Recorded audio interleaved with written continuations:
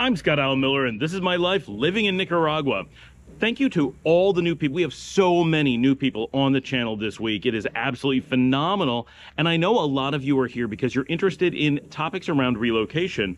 And so we're going to do a little bit of relocation skills today. If you're new to a new country, you're fresh off the boat, you're bright eyed, you're bushy tailed, you're excited, and you are a really good target for a lot of people. And it doesn't matter where you're moving, anywhere in the world, a new immigrant, and yes, we're going to call you an expat when you're first going to look and we're like, oh, come, come live the expat life. But the reality is, is when you hit the ground, you're a new immigrant to that country and you are unaware of a lot of things you need to know, but you're also ready to start living your life. And that makes you an absolute prime target for so many people. We want to we want to give you some travel skills and some relocation skills to make moving to your new country safer and more productive. We're going to get to that right after the bump.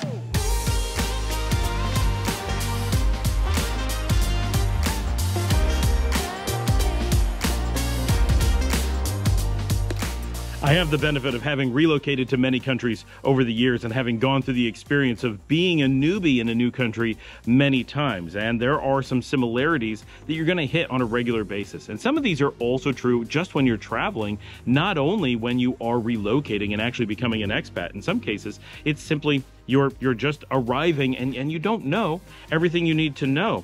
There's a famous country in northwestern Africa that had a lot of tourists and because the country was relatively low income and a lot of tourists with a lot more average income than the local population would arrive by boat, typically, uh, you would be swarmed right as you got off the boat. There'd be a million people offering you taxi rides and tours and, and special visas and all kinds of things that didn't really exist or were overpriced or whatever. It was such an unbelievable scam. Eventually, the government had to step in and ban all of that stuff and actually make really heavy penalties. But it became a really big thing because the economy of going after people who've just stepped off a boat. They're confused, they're excited, especially if you're a traveler. Chances are you have a lot of money in your pocket, whether literally cash or figuratively credit cards, but you're ready to spend money. You're ready to go out and do things because you're on vacation. Imagine someone arriving in Cancun or Disney World. You get off the plane, and if someone's like, look, it's $10 to give you a visa, you can't get into, you know, Disney World without it, you can't get into, but you're like, what, whatever, $10, I just want to enjoy my vacation. And person after person starts coming up with fake things or offering you a taxi ride oh, I'm the only taxi in town. I talked to the others, they're busy. Or, you know, famously, Cancun is just one scam after another and organized crime all waiting right at the airport to get you. So you, this is an obvious economic situation that, that governments need to step in and protect against because it is so difficult for someone first arriving at an airport, at a at a, uh, a shipping port, or whatever. You step off, and that moment you're you're like trying to deal with your luggage, and you're trying to like acclimate to the new place. The weather's hitting you, the time zone's hitting you, the the physical location, maybe a new language. There's so many barriers to getting into that new country in those first few minutes. Of course, savvy travelers are ready. They know people are going to be approaching them. They're used to seeing a new place, but most people aren't experienced savvy, savvy travelers. That is by far a tiny group of people. And even those can be intimidated or overwhelmed by the situation or simply find it not worth the effort to try to get out of. So when you're traveling, that's very much the case. But a lot of people don't realize that when you relocate, that is also the case. The same effect is going to happen, but it's slightly different. It isn't people coming and offering to carry your bags for you or people offering you a taxi ride somewhere, at least not normally. It's going to be a little bit more insidious. I want to talk about this because so many people are looking at becoming expats. So many people are looking at emigrating, and I know a lot of Canadians just joined the channel, but we we traditionally have loads of Americans, a lot of Europeans, a lot of Australians, a few New Zealanders. Like we have people from all over the world that are looking at options for relocation, often from the global north to the global south. And here in the global south, you know, it's a it's a phenomenal opportunity, and we're generally very very welcoming to all these people coming. But it's really easy to get sucked into a lot of bad situations that is just universal. I want to give you some tools on what to look for and how to respond and how to act to protect yourselves to make your experience of relocation, wherever it is you're going to be moving to, much more productive and a lot more safe and give you the opportunity for a, a positive relocation experience. In my experience, there are three kinds of scams or cons that are generally run against people who are newly moving to a new country. Now, in some cases, you're going to have a number of cons if you're a traveler and you're in a country and you're, you're just in a tourist mode. And there's a lot of people that are going to try to take advantage of you by convincing you that it is something that you want to do to move to that country. So there is a transitional scam kind of category that does exist. But that's not really what we're talking about. What we're really more concerned about is when you've made the decision that you're going to relocate to a country. And I'll use Nicaragua in some examples because I live here and it is not different than other countries. Every country is like this. And a lot of these are especially acute if you're moving from a wealthy area to a lower cost of income area where there's a lot of opportunity for uh, your income, your available spending power to be a major economic factor. If you're moving from a very uh, low income country to a very expensive country, these opportunities are much less. There's very little money to be made on immigrants. But when you're coming from uh, the other direction, the amount of money that can be made on immigrants is often confusing to the new immigrants coming into that country. Yes, they may be aware that they have more buying power than the average local, but the degree to which that may impact an economy and the way that that economy is likely to behave often isn't something that they've thought about.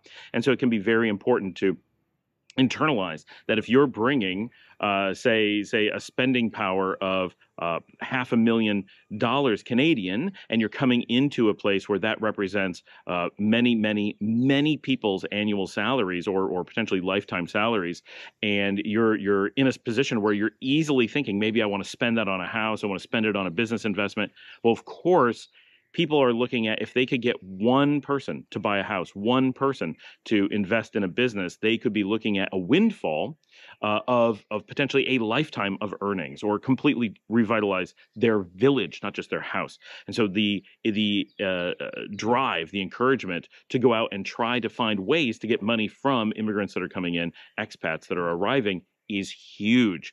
And so when you first get off that boat, you're in this euphoric moment. I'm in a new country. Now, some people are very with a lot of trepidation, and that's fine. Obviously, that's true. And some people are just super excited, and a lot of people are some blend. And both of those things make you very vulnerable. When you're cautious and you're, you're very trepidatious, you have a tendency to look for people who you feel you can trust. And so there's a lot of people who are looking to, to gain your confidence and then lead you, maybe not into a full out scam, but easily into spending uh, far more than you should in a place that it doesn't make sense for you. They have something to sell you, they're going to guide you to that. And everybody has access to something to sell you. In a market where uh, the amount of income that you potentially have is so high, there's always someone willing to give a significant kickback to someone who's able to drive that business to them. The, the income levels are just so impacted by this that it's hard to imagine anyone saying no.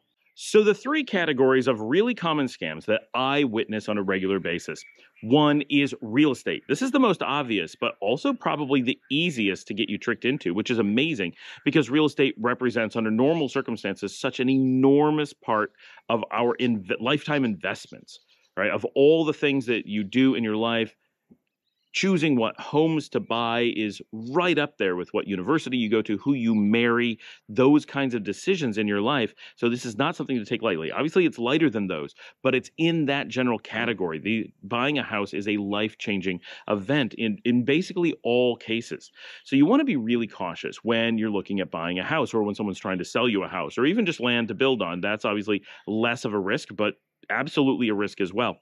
But when you first arrive in a new country, one thing that you know for sure is you are not in a position to be buying a house. That should be just goes without saying. Yet there's an emotional drive. You're moving to a new country. You feel that you are in flux. You feel that there is uncertainty. You're in a new place. There's a lot of like, oh, I'm not connected to this place. I don't know this place. I don't have connections. It's just a lot of things. That emotional feeling drives you to want to put down roots and find a way to stabilize. And one of the most dangerous things is to have that turn into a desire to own property at the time that you're moving. Owning property is a great thing. Owning a house is a great thing. Those are not negatives. I in no way want to make this sound like I'm saying you shouldn't own houses. What I'm saying is that at the moment that you're fresh off the boat, you're just arrived in a new place, there could not be a worse time in your life to even talk to someone about buying a house because you are in an emotional state where you are super vulnerable to being convinced that you want to invest heavily because that feels like it's a stabilizing force in your life at a moment when you are otherwise very much in motion. And it feels like if you put down those roots, that will give you connections. The process will give you friends. You will become a part of a community. And all those things have some some connection to truth but they are not what you're imagining. And it is a super dangerous thing to do for so many reasons. Even if the person who is trying to help you was in earnest, being honest, and just, oh, I want to help you find a house because you're a nice person and I think you'd be cool in my neighborhood. That's okay, unlikely because you just got here. But it's plausible. But that person is not looking out for your interest. They may not be thinking of your interest. They may have no idea because they don't know you, you're new, whatever. And they think that, well, my neighborhood's nice and you're nice and this will go together well. But they are not evaluating your life in the way that someone who is trying to help you make good life decisions would do. A good life decision would be stepping back and saying, Do I know enough to know that I want to put down roots and buy a house here. When you're just moving to a new country, you are making a huge commitment, but there's no reason to make it that much more of a commitment. If you're moving to Nicaragua, for example, it is super easy right now to just hop on a plane, come down to Nicaragua, and sample the country. You don't have to do anything dramatic. You don't have to do anything that stops you from just getting on a plane and flying back home. There's conveniences to bringing lots of things with you, but you don't have to do that. You can come down with just some luggage and live out of that, buy anything you need locally, rent a place, even rent short-term places so they're furnished or whatever, and and you don't have to make a major commitment to anything. And that doesn't mean you're not coming to stay. It doesn't mean you're not serious. It just means you're being smart about it. It means you're being cautious in a very reasonable way. And then you have time to make layers of decisions. The first decision do I want to live in this country? Okay. Once you've said yes, all right, do I want to live in this region of this country? Maybe you got that right too. Okay, great. Do I want to be in this particular city of this region of this country? Oh, well, actually, I like the one next door. Every time I visit there, I seem to like that better. Or you know, here in Leon, you may be like, well, I really like, I really like Asian fusion food. And you're like, man, every time I go out for Asian fusion, I'm driving up to Chinandega. Leon's great, but it doesn't have this food. And I eat that at least once a week. And that's such a, maybe you want to live in Chinandega instead. Okay, fine. Then you adjust. Now you go look at Chinandega. Now, do you know the barrios of Chinandega? Do you know the different neighborhoods? Do you want to be downtown? Do you know what good pricing is there? It's going to take a little bit of time in Chinandega to get to know those things. Do you know which restaurants you really like? Are they viable? Are they going to be around for a long time? Do you want to live near that? Right? Probably just a restaurant is not a good reason to pick a city. It's just an example. And so you you make you hone these decisions. And at some point, maybe after six months, but more likely after 18 months, very likely after two, two and a half years, you you should have a really good picture if you're putting in some effort, if you're thinking critically about it as you do it, and you can say, wow, okay, yeah, I did pick the right country. I picked generally the right region, but I had to hone the exact location. I had to hone the neighborhood, and then I had to hone the street, and then I had to find the right house because there's not that many houses on the market, and every house is so unique. Finding one that is just perfect for you, very difficult unless you're building and, and then finding the right spot to build quite difficult. Yes, people are willing to sell in nearly all cases, but it's still difficult to hone that down and really find the right spot for you. And then after you do all that, then you're in a great position at that point, you know what a house should cost, hopefully, or at least relatively close. You know what building costs are, so you can compare. You know what renovation costs are, so you can put that into your equations. You know what the different neighborhoods are, how they're going to affect things. Would you need a car if you live there versus where you are now? Have you decided you already have a car? Is it not something you're interested in? Uh, how, like all these aspects of life, you're going to have that information. You're going to pick the right place, almost certainly. You're going to get a good price on it, almost certainly that becomes a very, very good decision. And then when you make that giant life decision, you're not guaranteed, nearly guaranteed buyer's remorse. Instead, you're going to be like, ah, I put in so much work and I know it's right. And then you're going to be able to enjoy that house because it's the right house for you, in the right location for you, in the right country for you, with the right features. And that's not something you're going to get from some random person going, hey, move into my neighborhood. I've got a deal. And then you think it's the one deal. It's not the one deal. I don't care where you are in the world. It's not the one deal. Here in Nicaragua, it couldn't be farther from being the one deal. Everything's for sale. Everything is cheap. No one should be telling you, oh, you got to hurry. You're going to get no. Right now, I know there are places where the, the real estate market is hot and you don't want to wait five years. Sure. There's no real estate in the world where you want to hop in and blindly buy without knowing what you're doing. There is no place that you want to do that. And that's one of the reasons why smart investors don't just go to other countries and invest. They may go to other countries and do tons of research and invest. They may have trusted partners that they work with that happen to be in a, you know, my business partners can come to me and be like, hey, I need a lot in Nicaragua, hook me up, right? Yeah, if you're my business partner, that's different. Like I don't do real estate for people, but I would for my business partners, obviously, and have for my business partners. That is different, right? Yes, you can come to someone like me and I can go to my business partners in Bolivia. I can go to them in Mexico and be like, look, find me a deal. I want to get in on this country. And I could have a trusted resource. But if you are going in and you're new to that place, no, you, that is not how good investment happens. That's incredibly reckless. And you need to know that your resources in that country are people who not only that you trust, which going into Bolivia, my resources are people that I trust, absolutely, but they also are real estate investors themselves who have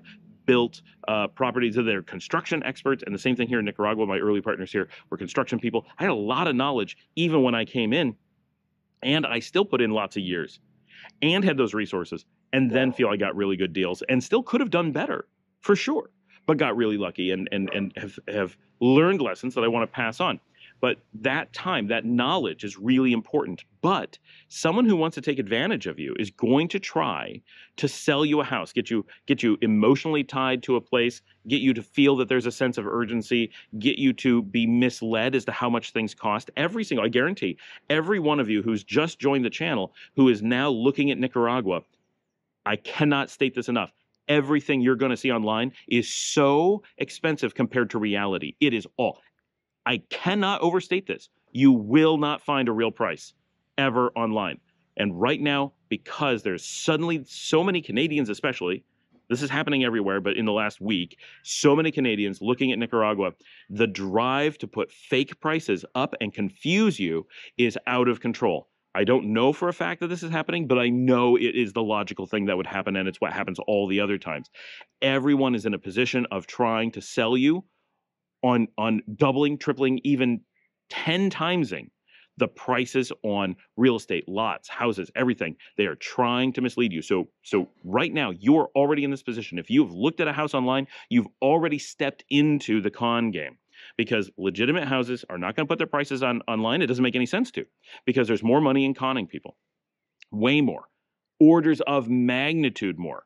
Selling a house should earn you five or ten thousand dollars max in profits under normal house sales sales here in Nicaragua. But people are hoping to get two, three, four, five hundred thousand dollar uh, profits on properties that are only selling for six hundred thousand dollars do you want to be paying 80% markup on a place just be 80% of their profits right just because you didn't do your research? And you'll never be able to unload that house. People are going to tell you oh things are moving quickly. There's urgency. There is no urgency. Things are not moving quickly. And i realize so many canadians are looking right now this week like it is i can tell you i am seeing the numbers. The number of people who are watching is just crazy. So the amount of sense of urgency is easy to portray, but it is fake. You have time. I do recommend that you get in motion, that you come down and investigate whether it's Nicaragua or it's Thailand or it's uh, Argentina or Paraguay. So many great places. The world is full of amazing options for you and nicaragua is just one of them i happen to really like it it is where i chose so i'm you know speaking from a place of personal experience i've lived in many countries and i chose to come back and permanently be based in nicaragua for many reasons so for many of you, I think it's going to be a great option. And as it's been said in the Canadian news, like it is suddenly a target spot for Canadians, and it makes sense.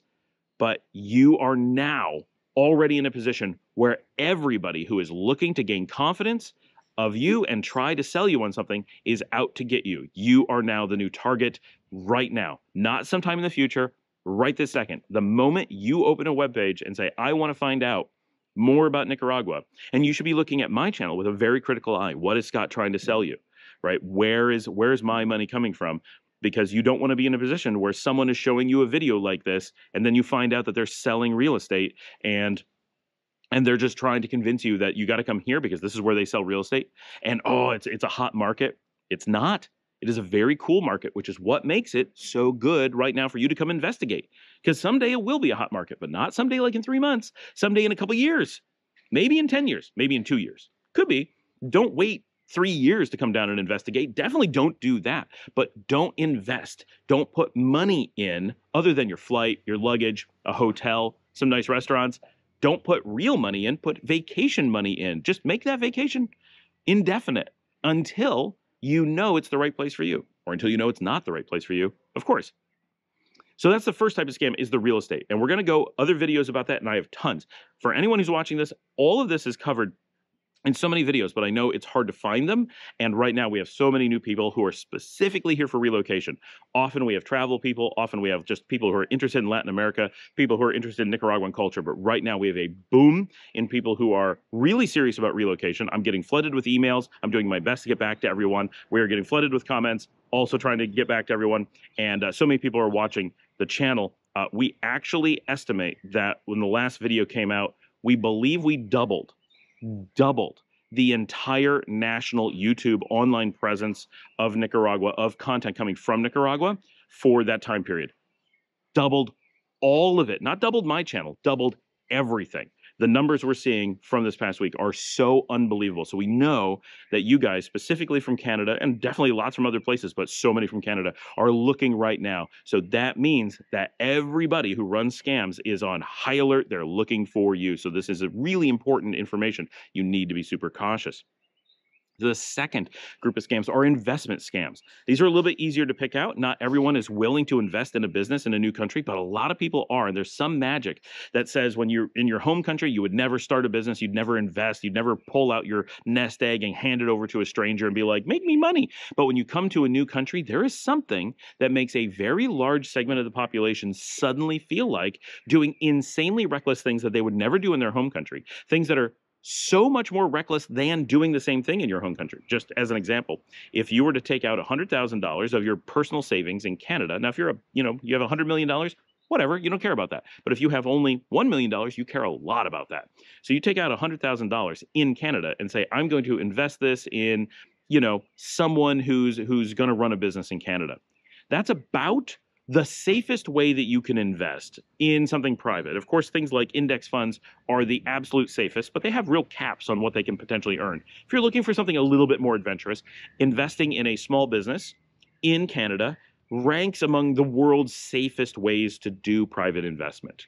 Canada just has a really, really stable economy with really regular growth and an incredible success rate of local businesses. The US and Canada are both really, really high in this category. Canada is actually a little bit safer for this. The US is a little bit more likely to make more money. So there it depends what you're looking for, but both rank among the world's top safest. So as a Canadian who's in Canada, you would never, we have thunder going on, you would never want to give up the advantages you have of being able to invest in the Canadian or potentially the American markets. That you could you could blend between the two uh, very safely.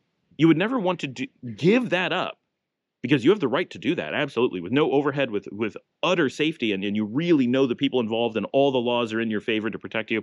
You would never want to come to a place like nicaragua thailand china namibia you name it. You don't want to go to a place where the market is tough where you don't have that incredibly high success rate, where you don't have the, the protections as a citizen, where you don't have the internal knowledge and the connections to be able to verify the people that are doing the investment for you. You definitely don't want to go to the extreme, difficult, and risky when you have this, right? That makes no sense. Yet, emotionally, so many people come and do exactly that. They say, well, I could very, very safely invest $100,000 and probably retire from the income.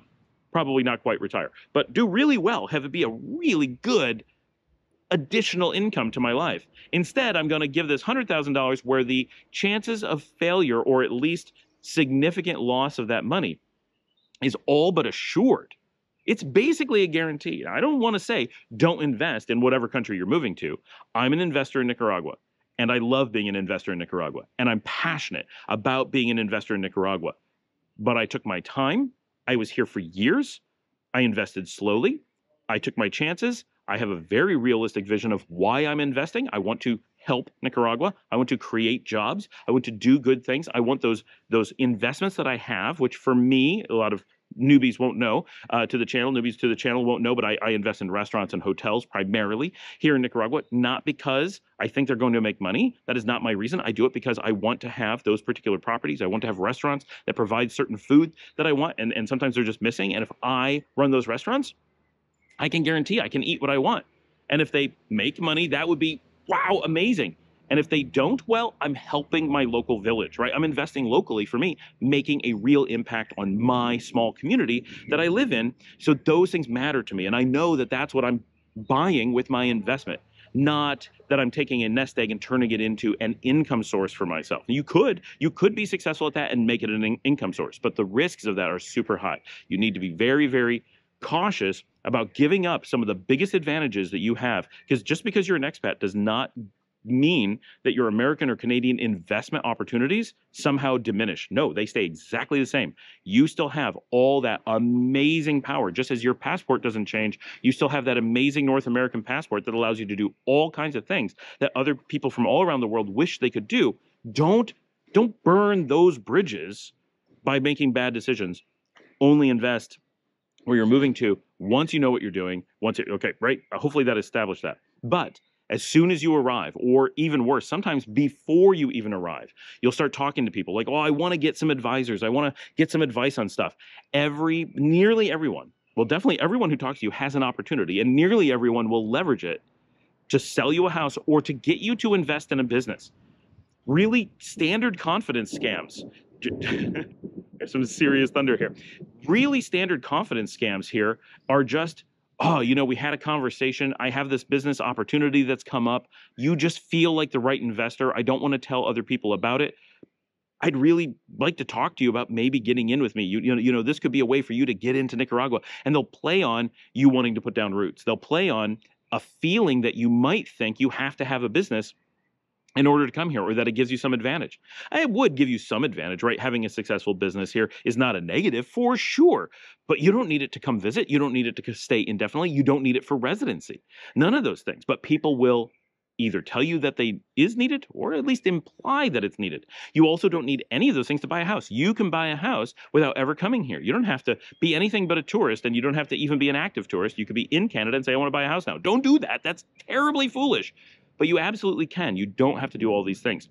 So you see, okay, first, real estate scams. Second, investment and business scams. These are the first things. As soon as you're off the boat, they're going to, off the plane in most Canadians' case, this is what they're going to be trying to sell to you. And the third thing, and they're going to try to get you on this long before you come down, is lawyer scams. There are so many lawyers who advertise online or advertise in English and try to get the attention of expats or future expats before they come here.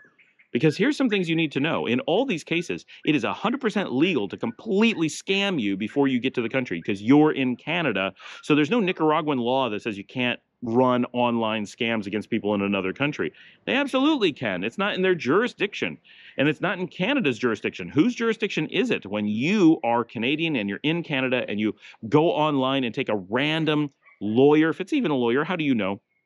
And they claim to have an office and they claim to represent you from afar and they're going to help you get immigration and all these things. Yeah, there's legitimate immigration lawyers here in Nicaragua. I work with a phenomenal one. I've met other great ones. They're out there, but they're not advertising online. They're not telling you when you're in Canada, hey, uh, you should talk to me and start working with immigration before you get here. Why would you do that before you get here? If you knew anything about Nicaragua, you would know that doesn't make any sense at all. On a, one out of a 10,000 people it makes sense for, right? You're not that person.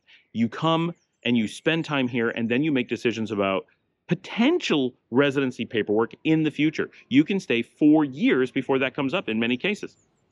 There's no reason to be having a discussion about that at all ahead of time. Now, of course, you're going to have questions. Will I be able to get residency? Look, the answer is going to be yes. That's just, I've never met someone where the answer is no. In theory, there could be a no, but it's an extreme situation. If you're like, well, I'm a wanted serial killer and I'm on the run from the government, but Interpol knows about me, can I get residency? No, no, you cannot get residency, obviously. But That's the kind of situation where people are like, well, will I be able to get residency? Yes. If you're not that person, chances are. So, but you need to come down and experience it. You don't even know if you want residency yet. You shouldn't be looking and shouldn't be engaging lawyers who are in a position where they need to get that money from you now. Because if they do it now, they can get 10, 20, 30,000 dollars instead of hundreds of dollars or maybe a couple thousand if you were actually here. And they don't have to actually get you residency because you're not here. It doesn't make any sense. They don't, and you just show up. There's so many ways to scam you. And real estate companies, they don't have to necessarily even give you a real deed. You could end up without even having a house, not just paying too much. You could get totally scammed and end up. And I know people who had businesses that tried to get them to invest. The business wasn't real. There was no investment at all. It's not just that it was a bad investment; it was a fake investment. I myself have had people try to sell me deals where there was actually a fake real estate deal. These are really standard things. And I know tons of people who've been conned by lawyers or people lying about being lawyers. They weren't actually even lawyers.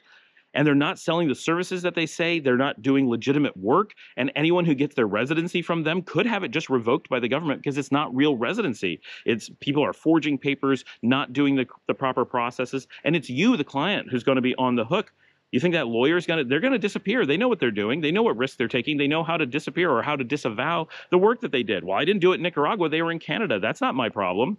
Right? They try right. There's all these ways that they're thinking through how to protect themselves.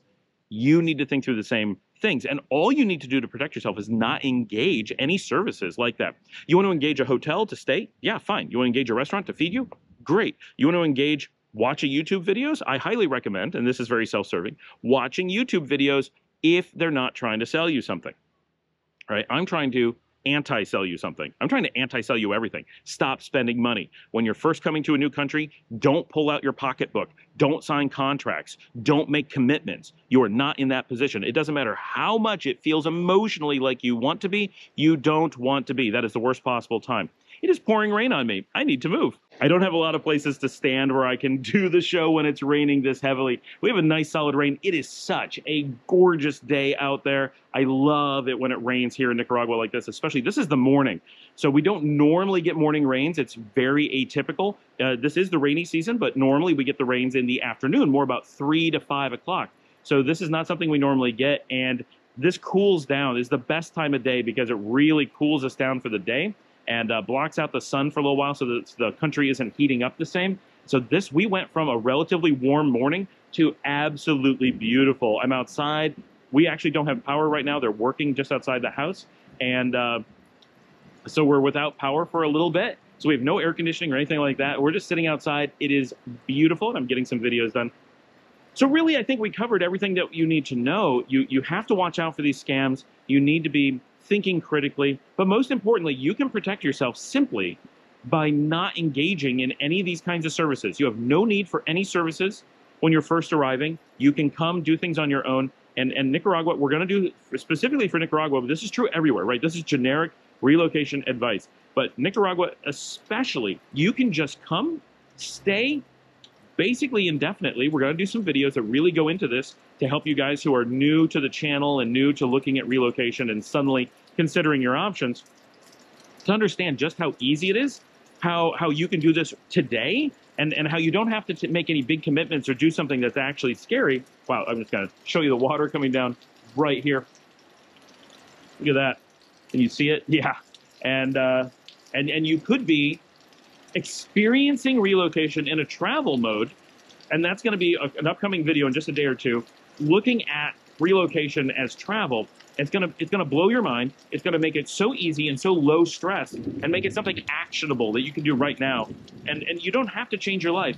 You're gonna find out if you should change your life. Thanks for joining me. Like and subscribe. And if you'd like to support the channel, we don't have any sponsors. I don't sell anything except for like T-shirts and stuff. And like we really don't sell those either. Um, but uh, you can buy me a coffee at buymeacoffee.com slash Scott Alan Miller. That just helps support the work that we do here on the channel. We just love talking about relocation, living in Latin America, Nicaragua, where I live specifically. I enjoy doing this. I moved myself to many countries and settled here in Nicaragua and have uh, fallen in love with life in Latin America um, and really feel that a lot of people are missing out because they don't know what their options are. So we're trying to help them. Uh, share on social media. Tell someone about the show. I'll see all of you tomorrow.